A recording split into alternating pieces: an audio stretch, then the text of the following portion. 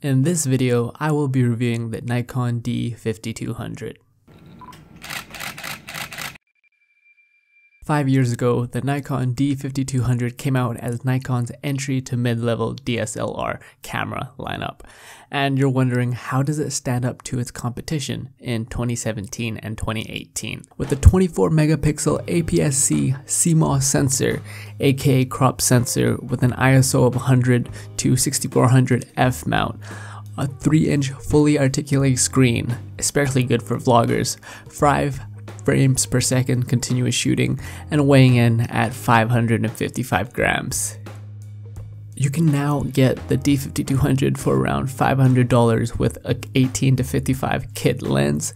So let's start about what I love about this camera. Besides this being my very first DSLR, it's a pretty darn good camera to start with if you're a complete noob. As long as you buy a good glass for this body, you can get some pretty good shots with whether that's you have good lighting and it can, can stand toe to toe with a lot of other DSLRs. Good range of color if you have a neutral profile set on it. There's some rolling shutter, but it's not that big of an issue. And surprisingly enough, for the D5200, it does have some pretty darn good low light performance. It's very friendly user interface and one of the reasons that I got this camera was that not only that you can take videos with it, but you can also take photos, and Nikon is known for having its top of the game when it comes to photos. As for video capabilities, the Nikon D5200 does have and shoot by 1920 by 1080p in 24 frames per second. And let's talk about the downsides of using this camera because when it comes to entry level camera or having your first camera, you shouldn't go for the most expensive type of camera because you don't know how to use it.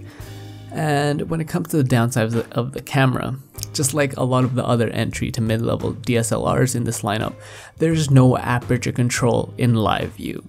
Slow motion you can only get in 720p, meaning you'll have to upscale. There is also bad noise, especially with this model is that when it comes to autofocusing and continuing autofocus, it's pretty darn bad and loud, and it always has to constantly track. So when I have to film vlogs or any type of video where I can't see whether or not I'm in focus, I usually just set the focus once and then make sure not to move. So if autofocus is a big thing for you, I would not recommend this camera. Also, it has a decent buffer for photos, but if you're a photographer, I would much more recommend you get its big brother, which is the 5300 or the 5500. When it comes to ISO range and low light capabilities, although it does have a very good sensor and you can get away with having a fast lens, I usually don't shoot videos or photos above 1200 ISO. Even though it does say it goes up to 6400, anything above 1250 ISO, you can see a lot of grain and it does get really noisy. So does the Nikon D5200 still live up to its attractive price? I would say yes and no. It is definitely a good camera to start with if you're a total beginner and looking for a camera that's within a budget friendly price and you would be amazed at what it can do. But if you're more along the lines of a videographer and an intermediate or advanced with a bigger budget, looking for better autofocus, better low light performance, and a better battery, I would much recommend its older brother, the 5500 because the 52 or the 5300 are essentially the same cameras except without a touch screen. And the only difference if you do decide to get it, its very latest model, the D5600, is that it has Bluetooth and NFC capabilities, but its overall sensor size is almost the same as the D5500. One of the reasons why I decided to review this camera is because it's just to prove that gear should not matter. As long as it shoots in 1080p and has a decent sensor size, you can do a lot of incredible things and never let, you know, your money stop you from making videos. Who this camera is for is that you want to get into video and photography. And if you're more leaning towards the photography side and you want a little bit of video, this is the camera for you.